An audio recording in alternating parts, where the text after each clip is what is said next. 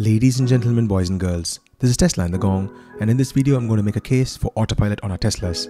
I live in Wollongong, which is in the south of Sydney. It is about 102 kilometers from the Sydney Opera House. This weekend we went to Sydney to watch the vivid light shows. Most of the journey from Wollongong to Sydney is through the rainforest.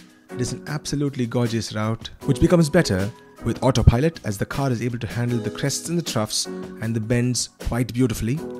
The journey from Wollongong to Sydney has always been a pleasure and I feel quite refreshed when I reach Sydney because autopilot does most of the heavy lifting for you.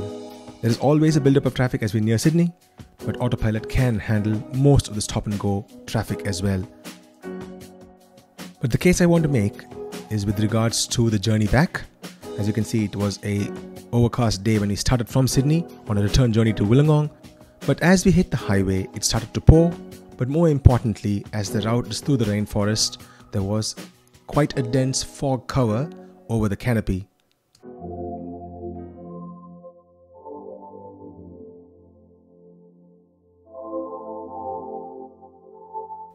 I did negotiate this route with autopilot engaged.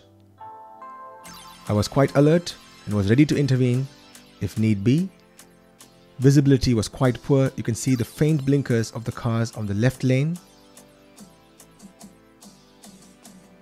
There were adequate warnings on the road warning us of cars which may be in front and to reduce speed.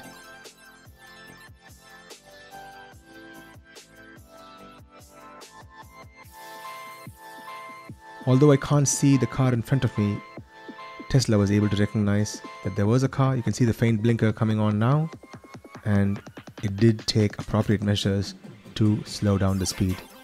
It was fantastic. Now, this is the case I want to make.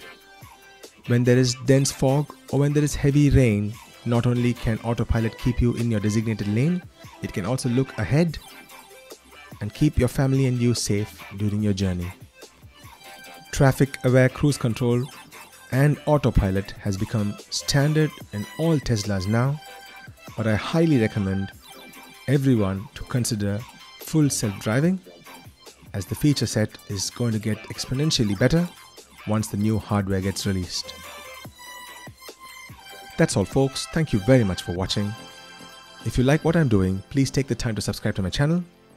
If you are on the lookout for a Model S, Model 3 or a Model X, please do use a referral code to get 1500 kilometers of free supercharger credit. My link is in the description of this video.